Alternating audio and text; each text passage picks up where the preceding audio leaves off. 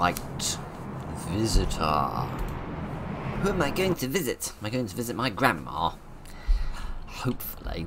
I mean, hopefully not, actually, because my grandmother's dead. So, um, that would be a, uh, a hell of a, um, messy experience. And I'm not really dressed for, um, de-earthing a grave.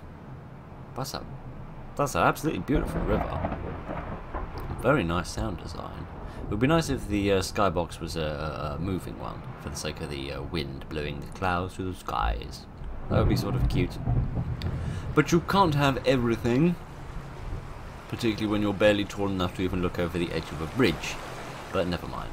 Ah, oh, that's nice. If you don't mind, I'm just going to stand here for 10 seconds and enjoy these, um,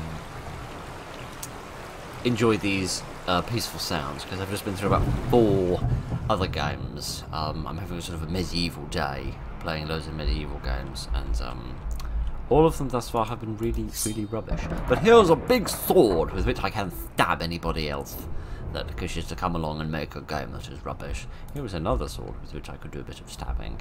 Um, but, uh, yes. I don't know very much about this game, other than apparently it is very, very short.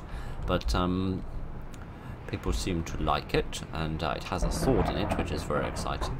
And thus far, it looks very beautiful. I spy another sword there, a sword I mistook for an arrow at first. So It almost seems as if this town has been attacked.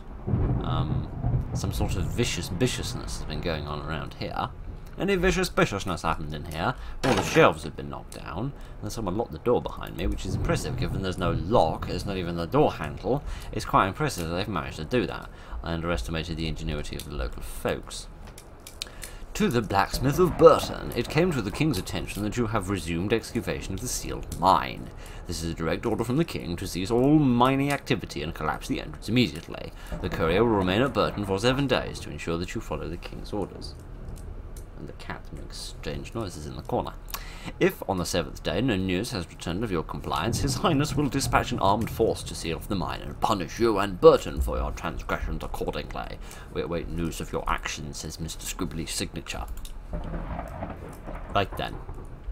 Well, somebody had an ear bleed, didn't they? Probably from having a big sword impaled into the side of their head. And somebody else had a knee bleed. One presumes again, possibly from having a sword impaled into it. Or maybe a big bear came through. It's difficult to tell. I'm not very good at these sort of investigative games where you've got to um, try and um, try and solve a mystery. Is that loads of more blood in there? Looks a little bit shiny, which implies it might be a liquid. So um, that's my best guess at this moment. So um, that's nice. That's quite simple, but that's quite nice. And it's very different from the way that most people do fire, so it looks unique as well, which is lovely um, which is a very difficult thing to do in this such a saturated market as we um, as we find ourselves in. Goodness, that was very nice. I like that. That was a very nice touch. Um, very nice indeed. Alright, so that letter was uh, sent to the blacksmith. So it makes sense it would be here, given this seems to be the blacksmith's shop, where he makes axes and hammers and tongs presumably um, for castrating horses, looking at the size of that one. Um, some little iron ingots, we can steal them at the beginning of our uh, Skyrim playthrough. Right, can I read this note, please? Thank you. For the residents of Burton, news of the courier's disappearance has troubled the king greatly. In his absence, the king can only assume that your blacksmith has failed to comply with his demands. By the time you receive this notice, a small armed force will have been dispatched and will arrive during the week. They will collapse the mine, and any who obstruct the king's men will be executed. Oh, okay. I was I was expecting you to say that you were going to murder everybody, but that would be a little bit weird to send a message forward, wouldn't it? Like saying, I'm going I'm going to wipe out the entire existence of your town, but um, consider this as like three days notice, but then surely everyone's going to run away, and then you won't be able to murder anyone. I don't know. I don't understand kingly stuff. I don't have blue blood. I, I barely have any any brains at all.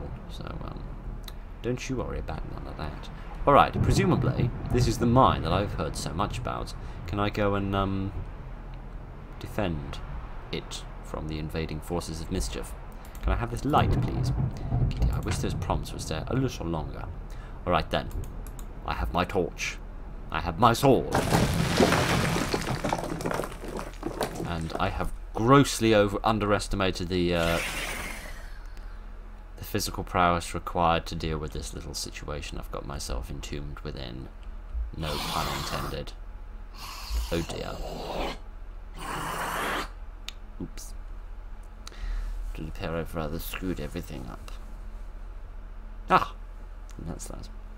Well, that was very nice. I really rather liked that actually. Um, very pretty, very simple, nice and simple story, but um, it um, it does the job quite nicely, despite um, despite the fact that I was thoroughly thrown off the scent by those notes. I thought we were actually going to be fighting like normal people with swords and like defending the town to protect like um, our family who had gone to hide in the mine or something.